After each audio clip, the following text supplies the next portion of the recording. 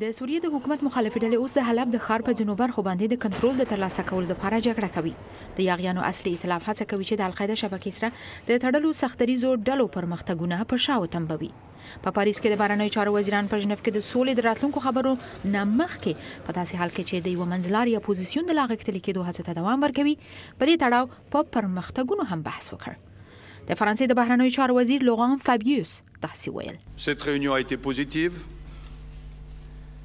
Il importe maintenant نړیواله ټولنه باید په دې ګډ باور سره راټوله شي چې د سوریې د تراژیدۍ لپاره د سیاسي جوړجاړي نه پرته بله لاره نشته او که په ژنیو کې خبرې ونه شي نو هدف ته رسیدل ناممکن دي.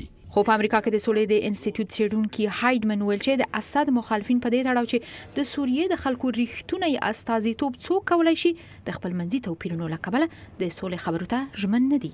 If the Core Friends of Syria Group cannot bring to Geneva. که د سوریې ملګري د دې خبرو د لا مشروعیت لپاره ژنیو ته د مخالفینو د پراخې او هر اړخیزې بڼې په راوړلو کې پاتې راشي، نو بیا به یې پایلې هم د منلو وړ نه وي، په ډګر کې د جنګي ډلو او په ځانګړې توګه وسلهوالو ډلو ته هم مشروعیت او اعتبار ونه لري.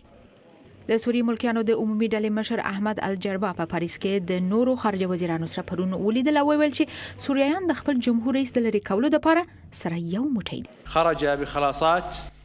د نن ورځې د غونډې تر ټولو لوی اړخ دا دی چې موږ ټول په دې سره موافق او سلا یو چې اسد نور په سوریه کې راتلونکی نه لري. خو جمهور رئیس اسد وايي، هغه به له واکه لرې نه شي او دا خبرې به د ترهګرو سره د مبارزې په اړه وي چې په هغو کې یوه ترهګره ډله وسله وال مخالفین ګڼي. د امریکا پخواني سفیر اډم ارلي ویل چې ښاغلی اسد اوس د تېر کال په پرتلې په خورا قوي موقعیت کې قرار لري چې دا هم خبرې لا ستونزمنوي. که زه د دمشق د جمهوري ریاست په ماڼۍ کې ناست وای، نو ما به ویلي وای، کوم انتقالي حکومت؟ تاسو څه وایاست؟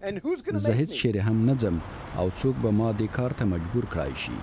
د دې نه وړاندې په خبرو کې د ایران د ګډون څرنګوالی هم دی چې اول آیا پکې برخه واخلي او که نه او بیا که دا کار وشي نو څنګه او تر کومه حده به ورته د دخالت اجازه ورکړ شي.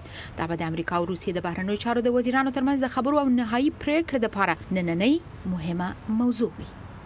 ښایسته سادات لامی د امریکا غږ آشنا تلویزیون واشنګټن.